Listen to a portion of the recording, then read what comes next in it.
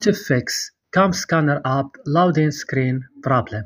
Welcome guys, if you have this problem, I will show you how to fix it now. So let's do it. Open the settings of your phone, click next at apps option and search for CamScanner and click.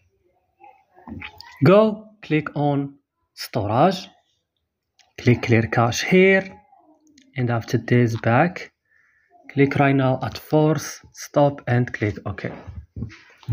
Come to play store or app store update CamScanner and restart your device now and that's all what you should do. Don't forget to like and subscribe and